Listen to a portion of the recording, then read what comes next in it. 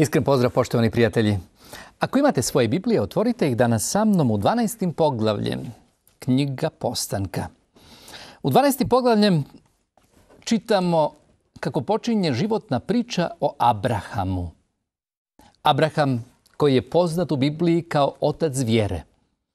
Ovdje na početku vidimo da Bog poziva jednog čovjeka u njegovoj 75. godini. On poziva i kaže Abrahame, jer si spreman počet iz početka. Draga braće i drage sestre, mi ponekada smo i tekako zabrinuti kada moramo opet iznova i iznova i iznova uvijek se vraćati na početku. Ali je Bog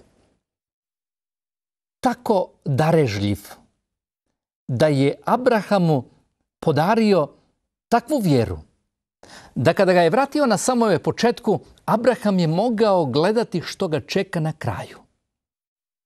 To je Bog koga mi danas služimo. Bog objavljuje sve ono što dolazi na kraju, ali nas vodi korak po korak da nam u sadašnjosti, dok ostvarujemo određene trenutke zadovoljstva, možemo, ako imamo iskrenu i ispravnu vjeru u njemu, da možemo uživati u životu. Pogledajte kako počinje ova životna priča. Kaže, Jahve reče Abrahamu. Ide iz zemlje svoje i zavičaja doma očinskog u krajeve koji ću ti pokazati. Velik ću narod od tebe načiniti. Abraham je imao 75 godina. I Bog kaže Abrahame, sve što si stekao, sve što imaš ovdje, uzmi sa sobom što možeš ponijeti i kreni. Kreni tamo gdje te ja budem vodio. Kreni, želim ti dati zemlju tebi i tvome potomstvu. Možda će neko reći, ali Abraham je prestar. 75 godina. Bog će Abrahama voditi i davati mu obećanja sve do njegove stote godine. Za Boga ne postoji premlat ili prestar. Za Boga postoji čovjek koji sebe može učiniti dostupnim za Boga. Draga braće i drage sestre, to je realnost koju mi vidimo u Bibliji. Bog poziva čovjeka i svaki je čovjek kvalificiran za njegov poziv da ostvari Božje dijelo samo ako čovjek je spreman da kaže Bože, ja sebe činim dostupnim. Koliko ljudi danas se zna zatvoriti u svojoj sobi i mogu reći ovo, prestar sam. Ne mogu više ja opet početi iznova. To što me snašlo, velika je tragedija. Ne mogu, ne mogu. Moramo naučiti da ova riječ ne mogu postane nešto što, što će biti samo tamo negdje daleko od nas. Pavao kaže sve mogu kroz onoga koji mi snagu daje. U 75. godini Bog poziva Abrahama, njegovu ženu, i kaže Abrahame, krenite. Krenite jer imam mnogo toga za vas. Veliču od tebe učiniti, blagoslovit ću te, ime ću ti uzveličati i sam ćeš biti blagoslov. Mi znamo da Abraham nije imao potomstvo. Njegova žena Sara bila je nerotkinja. Imao je sluge i sluškinje, ali Abraham nije imao sina. Nije imao potomstvo. A Bog mu kaže, Abrahame, daću ti veliko potomstvo. 75 godina čovjek. Ali Abraham je vjerovao. Draga braćo i drage sestre, na to nas Biblija poziva da stavimo vjeru u svemogućega Boga, da On kroz nas može učiniti sve ono što je naumio i sve ono što Boga proslavlja. Koliko puta mi znamo sebe ograničiti i postanemo depresivni, gledamo na situaciju oko nas, a Bog poziva i kaže Abrahame, pogledaj na Boga, na Tvorca.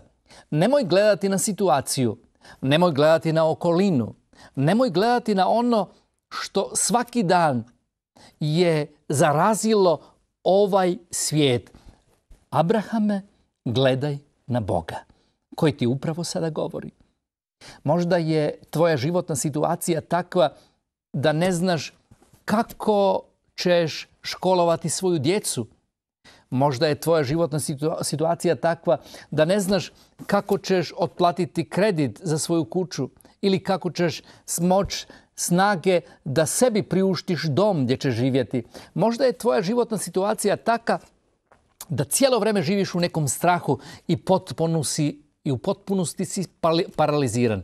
Ali prijatelju, ako staviš vjeru u svemogućega Boga, tada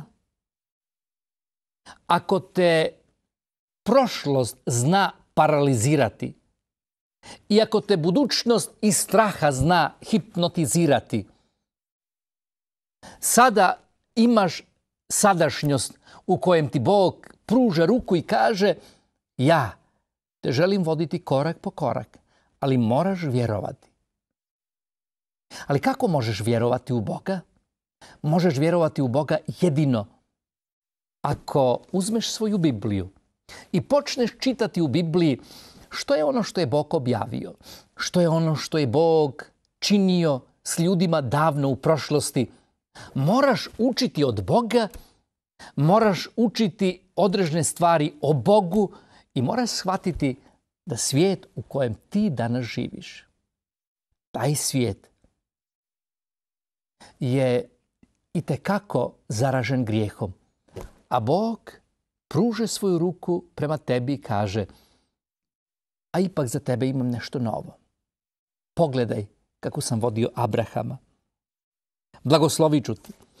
Blagoslovit ću te i bit ćeš blagoslov. Blagoslovit ću one koji te blagoslivljaju, blagoslivljali budu, koji te budu kleli, njih će, ću proklinjati. Sva plemena na zemlji tobom će se blagoslivljati. Bog daje, Bog daje obećanje Abrahamu i kaže Abrahame, ti ćeš postati hodajući blagoslov. To je ono što, draga braćo i drage sestre, Bog od uvijek želi učiniti sa svojom djecom, da njegova djeca postanu hodajući blagoslovi. A ovaj svijet, ovaj svijet nam nudi da postanemo bogati, ali da postanemo bogati i da to bogatstvo čuvamo za sebe, da nitko se ne dotakne, da zaštitimo svoje bogatstvo i da možemo dominirati nad drugim ljudima s time što ćemo od druge ljude činiti povlaštene podanike. Ali Biblija nas ne zove na to. Biblija nas, Biblija nas zove da mogu drugi ljudi biti blagoslovljeni kroz nas. Kada stvoriš posao gdje će tvoji radnici biti blagoslovljeni kroz tvoj posao, tada si uspio u životu i tada si stvorio kvalitetan posao. Kada stvoriš posao gdje bi se ti trebao obogatiti, a svi ovi ljudi koji rade kod tebe živjeli bi u mizeriji, tada si promašio.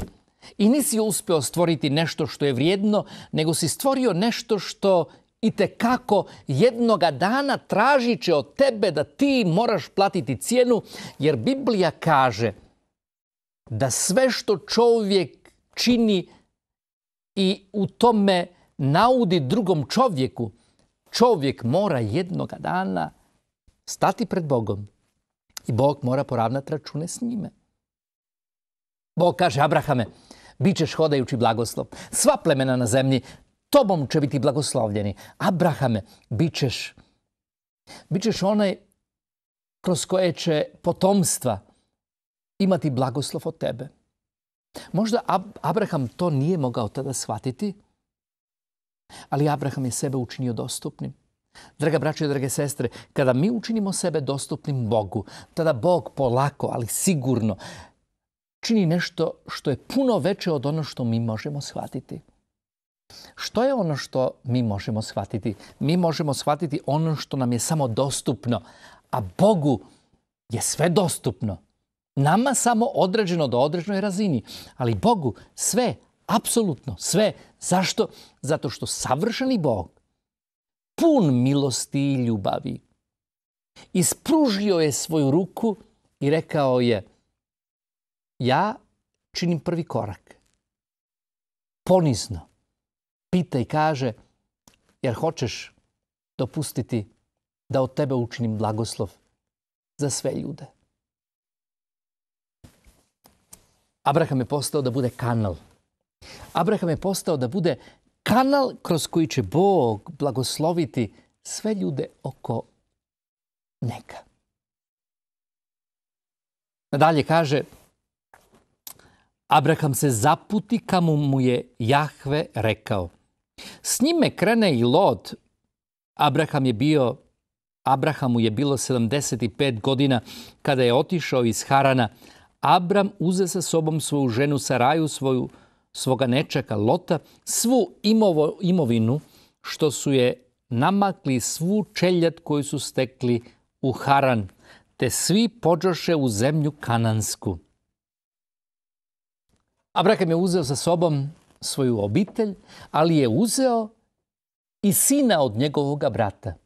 Lot je bio sin od Abrahamovog brata. Taj mladić je izgubio svoga oca i Abraham nije ostavio svoga nečaka.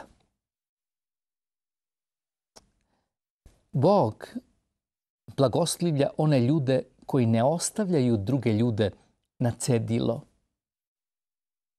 Često puta mi znamo reći ovako, meni je dobro, za njega nemam uopće potrebe razmišljati. Da, tako razmišlja ovaj svijet, ali ako želiš biti Boži sluga, ta ćeš reći ovako, da, meni je dobro, ali želim da bude dobro i za njega. Ali da bude dobro za njega, on sebi ne može pomoći, ja mu moram pomoći, ali ako mu pomognem, zar ću ja uvijek biti žrtva? Raduj se ako možeš pomoći. Zamisli da budeš u situaciji da tebi trebaju iznova i iznova da ljudi pomognu. Raduj se ako možeš pomoći. Draga braćo i drage sestre, nemojte zaboraviti što je Isus rekao. Blaženije je što? Dati, nego primiti. Blaženije je dati, nego primiti. Blaženije je da pomogneš, nego da čekaš da ti se pomogne. Abraham uzima svoga nečaka, uzima svoju ženu i dolazi u Kanan, u zemlju Kanana. Kaže, Abraham, kada je stigao tamo, prođe zemljom do mjesta Šekema, do hrasta more. Kananci su ondje bili u zemlji. Jahve se javi Abrahamu pa mu reče, tvome ću potomstvu dati ovu zemlju. Abraham tu podigne žrtvenik, Jahvi koji mu se objavio, odatle prijeđe u brdoviti kraj na istoku u Betel, svoj šator postavi između Betela na zapad, na zapadu i Aj na istoku, ondje podigne žrtvenik Jahvi i zazva ime Jahvino. Draga braće i drage sestre, sada Bog mu kaže Abrahame, ovdje na ovome mjestu, tu gdje stojiš, možeš biti siguran, to će biti mjesto i tu zemlju koju si sada vidio, bit će zemlja tvome potomstvu. I kaže Abraham, je tu podigao žrtvenik. Izazvao je ime Jahvino. Abraham nije otišao i nije počeo govoriti ljudima, ljudi, postali smo bogati, ovo je sada zemlja kananaca, ali to će biti moja zemlja. To mi je Bog rekao. Abraham se nije hvalio, nije, nije imao potrebe Abraham da se hvali niti da objašnjava nekome nešto. Nego Abraham je samo rekao, Bože, hvala ti ali ovo ću učiniti, gospode, sad ti želim zahvaliti s time što ću prinijeti žrtvu tebi. Uzeo je, žrtvovao je na mjesto, mjesto pored hrasta koji se zove more. Draga braće i drage sestre, da li se sjećate što se kasnije dogodilo kada je Abraham dobio svoga sina? I kada je Bog rekao Abrahamu idi sada i prinesi svog sina na mjestu koje ću ti pokazati. Abraham je donio svog sina opet na isto mjesto. Kasnije, posle, posle 25, posle 35 ili 40 godina, Abraham opet dolazi na ovo mjesto i tu će žrtvovati svoga sina. I Bog će se opet objaviti Abrahamu i reći će, ne Abrahame, ne. Bog će pribaviti žrtvu. nemoj nuditi svome sinu. Abraham se okrenuo, vidio je ovan pored sebe, rogovima, zaplečenu u grmlje. I sada mu Bog kaže, Abrahame, Bog će pribaviti sebi žrtvu. Da bi nakon dvije tisuće godina i više Bog poslao opet da na tom mjestu se podigne oltar, tu gdje je Abraham prvo žrtvovao, tu gdje je Abraham trebao žrtvovati svoga sina, Bog će nakon toga žrtvovati svoga sina na tome mjestu. Kakvog li Boga mi služimo? Bog koji se brine za detalje. Bog koji se brine za detalje. Za kakve detalje? Bog se brine i kaže Abrahame, ljudski rod je skrenuo i otišao je u propast, ali ja ne odustajem. Ja ću vratiti čovjeka nazad. Ja ću čovjeku dati spasenje. Abrahame, ne možeš razumjeti, ali ovo ti želim reći. Ovo mjesto, sad gdje si podigao žrtvenik, to dajem tebi. Nakon toga je opet podigao žrtvenik od Betela. Mi znamo na tom žrtveniku će kasnije žrtvovati i njegov unuk, njegov sin, Jakob. Bog će se objaviti Jakobu i tu kod Betela on će se hrvati sa Bogom. I Bog će blagosloviti Abrahama, Izaka i Jakova. Cijela je Biblija povezana, ali je Bog tako povezao sve ljude kroz jednu poveznicu, a to je svoje obećanje Bog je stavio kao poveznicu i kaže tko god zazove ime gospodnje i služi Bogu Abrahamovu, je Izakovu i Jakovovu i tko god služi Kristu i prihvati ga kao svoga spasitelja, on će biti blagoslov za druge ljude i sam će biti blagoslovljen. Zar ne želiš da budeš blagoslovljen? Podigni žrtvenik, kakav? Nek sada tvoje srce bude žrtvenik. Prošli smo put govorili o tome da je Noa podigao žrtvenik prvu, stvar kada je izašao iz, arke. Podigao je žrtvenik i rekao je Bože, tebi pripada ono što je najbolje. Kad se probudiš svako, svako jutro, podigni, podigni žrtvenik. Što to znači? Žrtvuj sebe. Kako treba žrtvovati sebe? Stavi svoje srce i kaži Bože, moje srce, moje oči, moje uši, moja usta neće biti oltar za prljavštine. Bože, ja želim gledati, razmišljati, želim čuti sve ono što je čisto, sveto i pravedno. Bože, želim živjeti za Tebe. Kada živiš tako čisto, sveto, pravedno za gospoda, tada prinosiš Bogu žrtvu, a žrtva na Golgoti dana u tebi stvara jednu novu energiju, jedan novi, jedan novi plan, jednu novu budućnost, jedan novi život za tebe. To je taj Bog koga mi danas služimo. Pogledajte nadalje o čemu nam Biblija govori. Prvo vidimo kako Bog podiže Abrahama silno i moćno i Abraham je slika jednog uzornog karaktera. Ali od desetoga redka nadalje u istom tom poglavlju vidimo kako Abraham pada. Ali kada je, ali kada je zemljom zavladala glad, Abraham se, se spusti u Egipat da ondje proboravi, jer je velika glad harala zemljom. Kad je bilo na ulazu u Egiptu, kad je bio na ulazu u Egiptu, reče svojoj ženi Saraj, znam da si lijepa žena. Kad te Egipćani vide, reći će, to je njegova žena. I mene će ubiti, a tebe na životu ostaviti nego reci da si mi sestra. Tako da i meni bude zbog tebe dobro i da ti i da iz obzira prema tebi poštede moj život. Pogledajte sada, Bog mu je rekao Abrahame, tebi dajem tu zemlju. Abraham je krenuo, došao u, to, u toj zemlji, podigao, podigao je žrtvenik i s time je rekao, Bože, znam da se ti trebaš brinuti za mene i ja to vjerujem, ali kada je nastala glad, suša, Abraham kao da je prestao vjerovati to što je Bogu dao obećanje. Abraham uzima svoju obitelj i krenuo je u Egipat. Zašto? Pa trebao je ostati tamo. Zar Bogu je nemoguće da može dati vodu i u sušnem vremenu? Pa moguće. Vidimo kako je izraelskom narodu davao vodu kada je izraelski narod hodao pustinju. Moguće je Moguće je. Ali što se to što se to dogodilo sa Abrahamom? Što?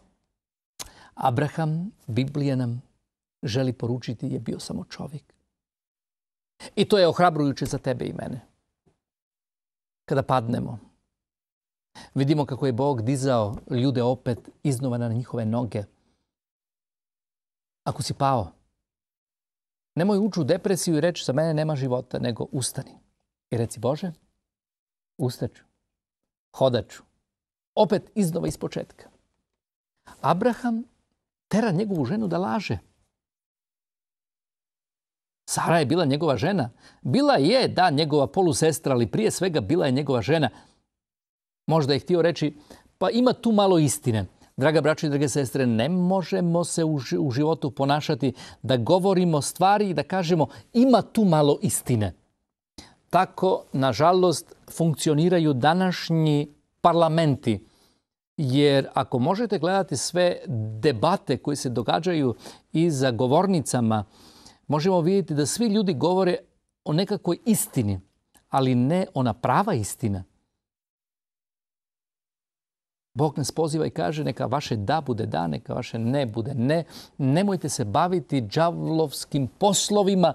Maknite sve ono što je zlo, bacite ga sa strane i čekajte na Boga. Ali Bože, ako ja budem rekao ovim Egipćanima, oni će mene ubiti, ubiti zbog toga što moja žena je lijepa. Abrahame, što sam ja da bi dao obećanje kao da mu Bog želi reći? Svi oni koji te budu blagoslivljali, bit će blagoslovljeni. Svi oni koji te budu proklali, bit će prokleti. Abrahame, zar nisam ti rekao ja ću biti tvoj čuvar? Ali se moraš pouzdat u mene. Draga braćo i drage sestre, to je stvarnost. Moramo se pouzdati u Boga. Kao kada malo dijete se pouzda u zaštitu svog roditelja i vjeruje moj će me roditelj hraniti, moj će me otac oblačiti majka, oni će se starati, brinuti za mene, oni za mene misle što je najbolje. To treba biti naša vjera, na tome nas Biblija poziva, na to je ono što je Krist govorio učenicima i rekao je, uzeo je malo djete i rekao je, ako ne postanete poput ova mala djeca, ne možete ući u kraljestvo nebesko. Abraham je bio pozvan od Boga da postane malo dijete. I Bog će pozvati Abrahama sada, iznova i iznova, i Bog će mu govoriti i 75 godina je bio kada je krenuo, 25 godina će Abraham osjećati na svoju kožu kako ga Bog tesa i kako Bog otlanja sve ono što je nedostatak, sve ono što je nedobro i kako Bog polako ugrađuje svoj karakter i od Abrahama čini otac vjere za sve naraštaje. Kaže zbilje, kada je Abraham ušao u Egipat, neko bi rekao kao da je Abraham znao, Egipćani vidje da je žena veoma lijepa vide da je faraon, vide je faraonovi dvorani, pa je pohvale faraonu i odvedu ženu na faraonov dvor. Abramu pođe dobro zbog nje. Steče on stoke, goveda, magaraca, sluge i sluškinje, magarica i deva. Ali Jahve udari faraona i njegov dom. Velikim nevoljama zbog Abrahamove žene, Saraje. I faraon pozva Abrahama pa mu reče, što si to ti učinio? Zašto mi nisi kazao da je ona tvoja žena? Zašto si rekao? Ona mi je sestra.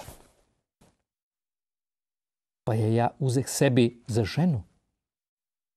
A sad, evo ti žene, uzmi je, hajde. Faraon ga onda preda momcima, a oni ga otprave s njegovom ženom i sa svime što je bjaše njegovo. Da, kako je Abraham rekao, vidjet ćete i tada tražit će moju glavu, zato reci da si mi sestra. I on je to učinio. Sara je slagala. Slagala je veoma poslušna žena, jel da? Ali nije trebala. Slagala je jer je htjela zaštititi Abrahama.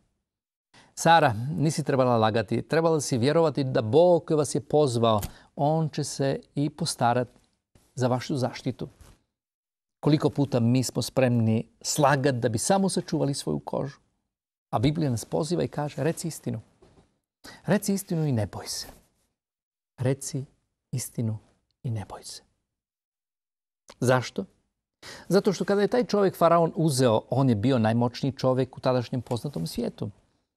Ali na Abrahamovu stranu je bio onaj koji je bio puno moćniji od faraona. Znate, mi ponekada se znamo tako uplašiti. Zašto? Zato što ima netko tko je tako moćan i ako on stavi svoj prst ili ruku na nas, mi smo gotovi. Ne smijemo tako razmišljati. Pogledajte, faraon je stavio prst na Abrahamov život, a Bog je uzeo i rekao je faraonu, jer želiš da ti slomim ruku. Makni prst. Jer Abraham je slab čovjek i bori se za svoj život. Ali ja, iako je Abraham nesavršen, ja ću ga uzeti i ja ću od Abrahama učiniti savršenog čovjeka, ali ti faraone, bježi od njega. Kaže, Bog je navalio veliku nevolju na faraona. Braćo i sestre, ako se pouzdamo u Boga, Bog je spreman. Bog je spreman zaustaviti sunce kao što je zaustavio sunce kada je Jošua ratovao sa Amaličanima. I tada je rekao, nek stane sunce, a Bog je rekao, pogledaj ovo, moje dijete, spremno je vjerovati da ću ja zaustaviti svemir, svemir za njega. I zaustavio je. I Jošua je ratovao i pobjedio je. Mi vidimo kako je Bog stavio svoju zaštitu nad Josipom kada je bio u Egipat, kada je bio u zatvoru i kada je sjeo na prijestolju. A mi da bi spasili svoju kožu spremni smo lagati. A znamo da Biblija kaže da otac laži izvor svega onoga što je laž je tko? Sotona. Kada lažeš, udovoljavaš Sotoni. A Bogu, a Bogu oduzimaš pravo da stavi svoju ruku na tvoj život. Biblija kaže, svi oni koji lažu, neće ući u kraljestvo nebesko. Tamo ima jedna cijela lista bludnici, hulnici, vračari i spominje se i lašci moramo naučiti. Moramo naučiti od ovog biblijskog teksta. Abraham je bio čovjek i pao je. Bog ga je podigao. Ali ne smijemo namjerno pasti. Jer možda nekada nećemo imati priliku da ustanemo. Abraham je vratio svoju ženu. A faraon je rekao, Abrahame, zašto si lagao? Idi sada, ne trebam te. Ako lažemo, svijet ovaj ima pravo da nam kaže bježi od mene jer te ne trebam, ti si obični lažac. Draga braće i drage sestre, moramo uvijek govoriti istinu i samo istinu. Zašto? Jer nas je Bog pozvao na tome. Što možemo danas reći u ovom zaključku? Prvo, Bog je pozvao starca od 65 godine kada je došao u Haran, sada je bio 75 godina kada je bio u Haranu i sa njegovih 75 godina Bog mu kaže sada idi u zemlju koju ti ja dajem. 75 godina star čovjek sa svojom ženom bez djece uzima svog nečaka i krenuo je na put. I Bog kaže Abrahame, počit ćeš od početka. Ako si pao, nemoj se plašiti ako počinješ opet od početka. Hvala Bogu kada imamo priliku da počnemo opet iznova. Ali Biblija nas poziva da počnemo svaki dan od početak naš život. Kad se probudimo i da kažemo Bože, novi dan, vodi me, gradi moj život. I tako je došao tamo, podigao je žrtvenik, na tom žrtveniku kasnije će se dogoditi tri stvari. Prvi žrtvenik na koji je Abraham žrtvovao, postojeći žrtvenik na kojem će on kasnije žrtvovati svoga sina. I poslije 2000 godine Abraham će moć sa nebesa gledati kako Bog žrtvuje svog sina na tom istome mjestu. Ali čovjek vjere, da, junak Boži, ipak od desetoga redka nadalje Biblija otkriva njegove slabosti. Uplašio se. Napustio je Kanan, otišao u Egipat i usto i lagao. To smo mi ljudi, ali moramo se mijenjati. Ako Bogu sebe učinimo dostupnim da nas mijenja, On će nas mijenjati. Što je s tobom? Jer, jer si u strahu zbog toga što kao da trebaš opet iznova da počneš? Ili si u strahu zbog toga što osjećaš da nisi savršen? Predaj sebe sve mogućem Bogu i Bog će te blagosloviti i svaki dan mu služi. Zato Isus je na Golgotskom križu dao svoj život za tebe prije 2000 godina. Pozovi ga u svoje srce i reci mu, pomolimo se zajedno. Dragi gospode, evo upravo sada otvaram svoje srce, uđi u moj život, želim ti služiti. Želim biti tvoje dijete, želim biti čovjek poput Abrahama, da imam vjeru u svemogućega Boga koji čini čudesa, ali i da budem ponizni sluga.